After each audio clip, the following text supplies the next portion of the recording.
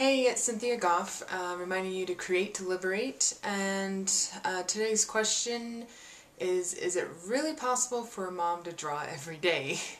Um, about a week ago, I made a goal um, to do a drawing or a sketch every day. Just take half an hour or so and do a drawing or um, a sketch every day.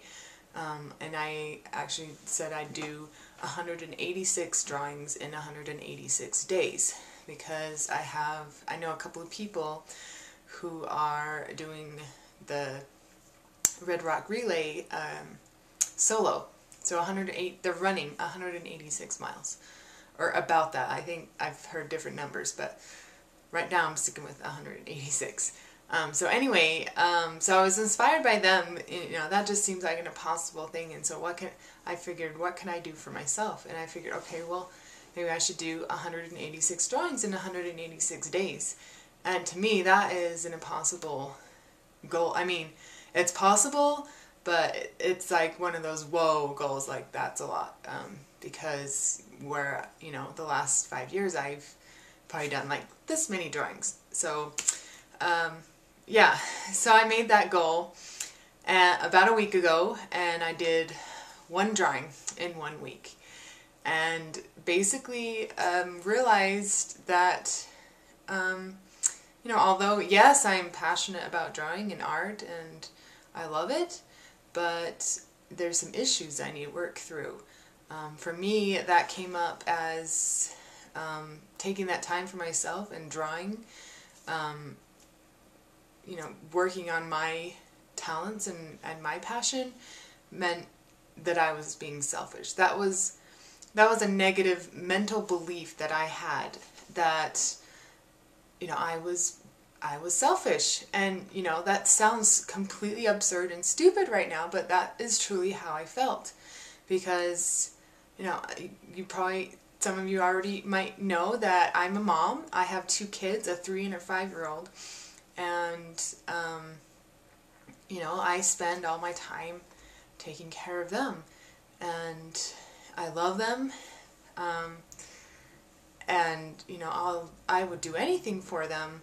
But you know in my mind I thought well you know that's only do, spending stuff spending time with them or doing things for them and not and not being the best mom that I can be and, you know, being happy and joyful and living my purpose. And so, um, you know, I, I had the example of my mom. I love her. She was the most completely um, selfless person, but she was she's an artist too, and she completely inspires me. But she ne she never did anything with it um, while we were kids, or you know, she maybe did a few drawings here and there, paintings, and um, but I could tell that that was something that she really wanted to do, and she gave up for us, and gave up a piece of her, um, which you know I truly believe in sacrificing for our children and and you know doing all we can for them and doing you know giving our whole lives to them, but we need to be happy too in that process. We give our lives happily and joyfully.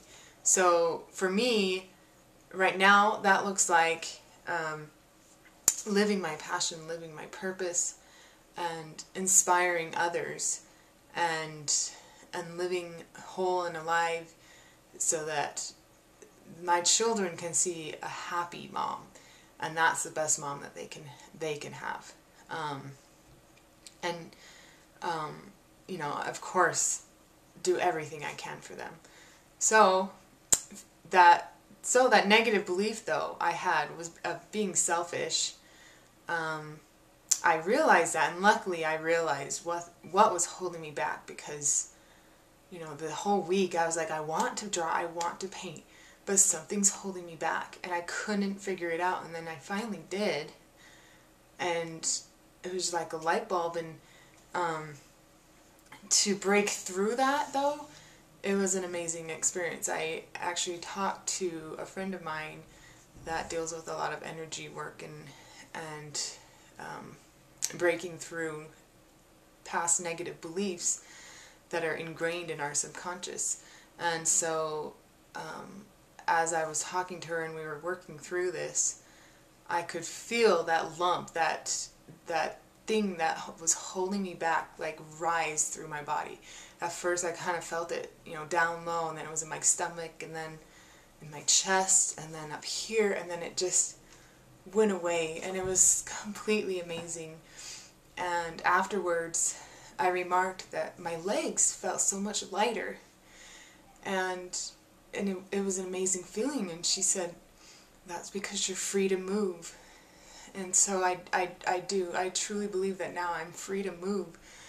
And so today I felt inspired to um, get back with my goal, and I'm happy to do that. My my my date of completion is I'm still sticking with July 21st, so there will be a few days where I'll have to do a few um, extra sketches, but I'm going to have 186 drawings by July 21st, 2011. And I'll uh, video blog about that here and let you know my progress. Um, and now I have however many accountability partners here, so you can keep me accountable. Um, but I just feel free and so alive in doing this. And today I felt inspired to you know, to draw a drawing and I just felt so good. I put on my Pandora music and loved it. And so I'll show you, this is the first drawing that I did last week. It's was, uh, um, I did that from a photo of myself. And then um, this is the one I did today, just from another photo.